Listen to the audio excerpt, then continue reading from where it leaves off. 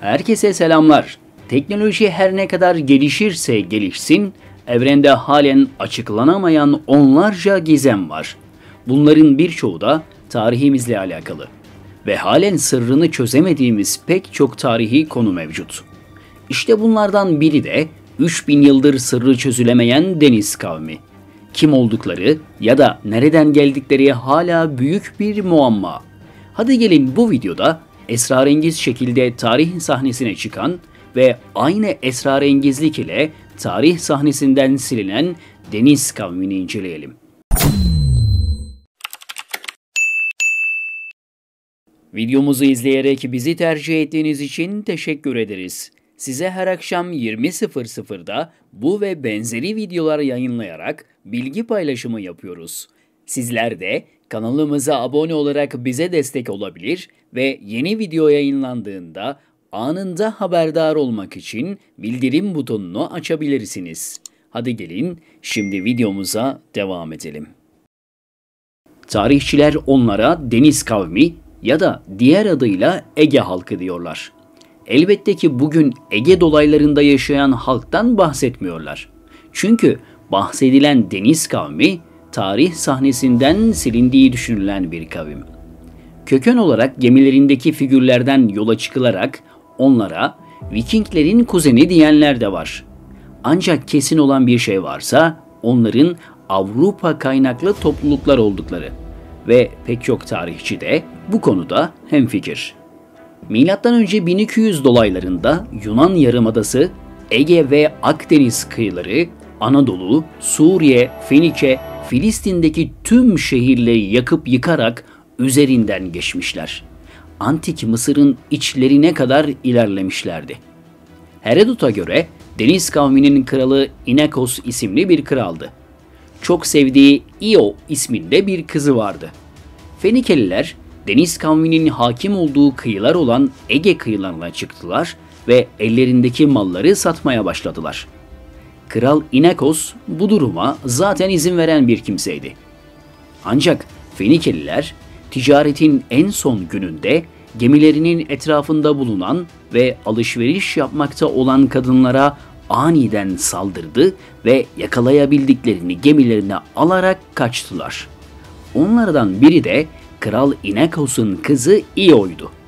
Kral Inekos bu durumdan dolayı kızını kaçıranların kimler olduğunu tam olarak tespit edemedi ve Mısır'a kadar önüne çıkan tüm kavimleri deyim yerindeyse yok etti. Yani büyük bir katliama imza atmıştı. Son durak ise az önce söylediğimiz gibi Mısır'dı. Çünkü kızı Io'yu Mısır'da bir köle pazarında bulmuş ve savaşa son vermişti.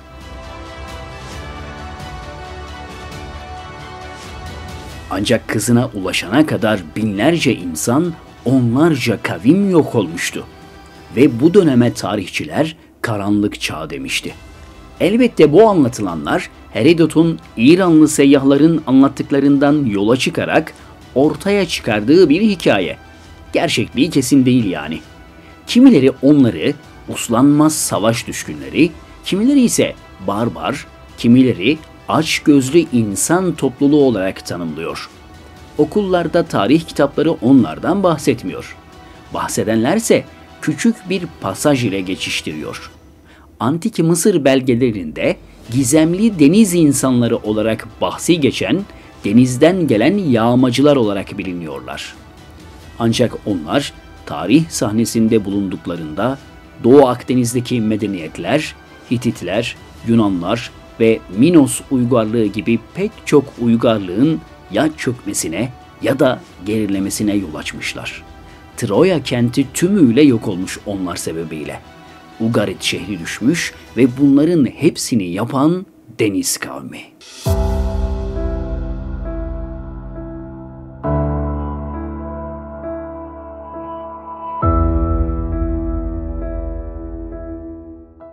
Üçüncü Ramses'in Medinet Habu'daki ölüm tapınağında bulunan 46. plakada yazdığına göre deniz kavimleri olarak adlandırılan halk kitleleri Balkanlardan yıkıma başlayarak Miken kültürünü yok etmiş, Ege kıyılarına gelmiş, Anadolu içlerinde Hititler ile karşılaşmış ve onları ortadan kaldırmış, denizi çok iyi bilen bu barbar topluluklar zengin Anadolu kıyı kentlerini korsan davranışı ile yağmalamış, sayılarını sürekli artırarak Nil deltasına kadar ulaşmışlar ve ancak Mısır'da durmuşlardır.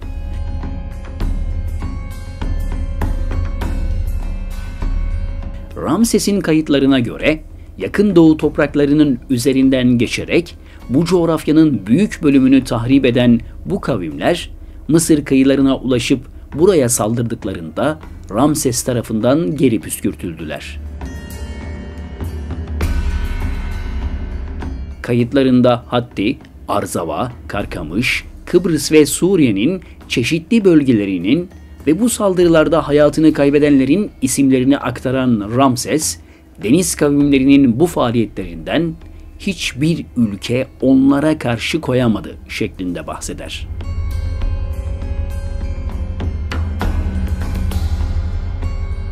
Tunç çağını kapatan bu istilanın önünde hiçbir güç duramamış ve uygarlık yaklaşık bin yıl geriye sarmıştı.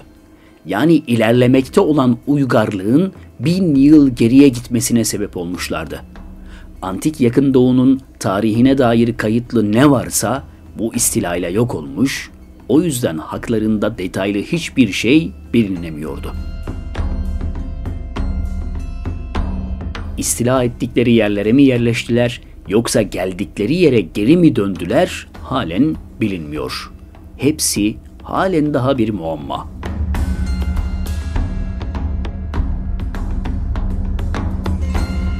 Filistin'e adını veren bu kavimlerden biri, antik Filistinliler dışında bugüne kalan hiçbir iz yok. Yani sadece isim kalmış. Ege göçlerinin ve konuyla ilgili çalışmaların bir başka özelliği ise 13. yüzyıl sonlarındaki tüm yakın doğunun Tunç çağ kültürleri ve göçler sırasında adı geçen halk, devlet ve ülke isimleriyle olayların gerçekleştiği dönemden sonraki gelişmeleri, karanlık çağlar ve hatta 400-500 yıl sonrasındaki Frig, Muşki, Lidya gibi uygarlıkların tarihini ve onlarla ilgili bazı sırları da ilgilendiriyor olmasıdır.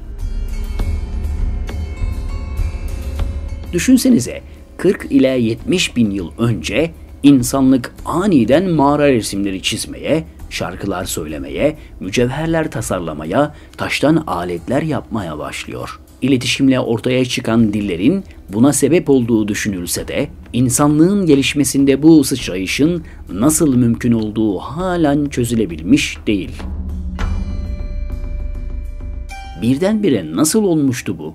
Hala merak konusu. Kim oldukları, hangi topluluğa mensup oldukları, aniden ortaya çıkıp deniz üzerinde yaşayıp hakimiyet kurmaları ile nam salan deniz kavminin toprak üzerinde yaşayan kavimleri ezip geçmesine rağmen tarih sahnesinden nasıl silindiğine dair bugün dahi kesin bir bilgi yok. Tek bilinen gizemli şekilde ortaya çıktıkları ve gizemli şekilde ortadan kayboldukları.